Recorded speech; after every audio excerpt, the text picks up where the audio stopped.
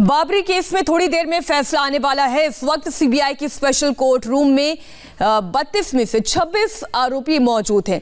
लाल कृष्ण आडवाणी, मुरली मनोहर जोशी, महंत नृत्य गोपाल दास, सतीश प्रधान, कल्याण सिंह और उमा भारती को छोड़कर सभी आरोपी इस वक्त कोर्ट रूम में ही हैं।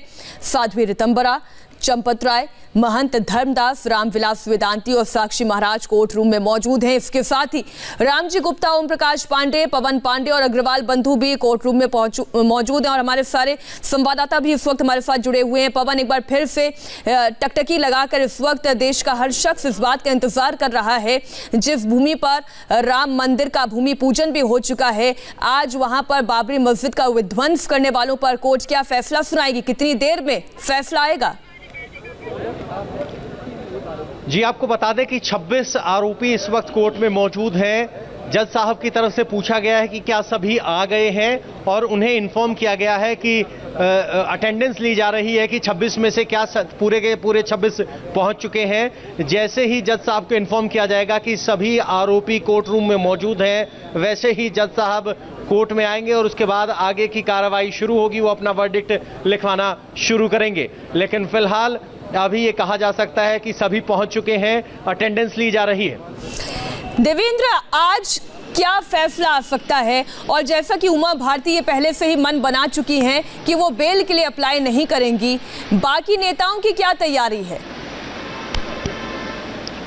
हाँ मीनाक्षी उमा भारती की चिट्ठी की बात करें तो दो दिन पहले बीजेपी के राष्ट्रीय अध्यक्ष जेपी नड्डा को जो उन्होंने चिट्ठी लिखी थी, उसमें ये कहा था कि वो वेद मानती हैं, कानून को, अदालत को मंदिर मानती हैं और जज को भगवान मानती हैं। और ऐसी स्थिति में अदालत का जो फैसला होगा, वो भगवान का आशीर्वाद समझ के वो उसे ग्रहण करेंगी।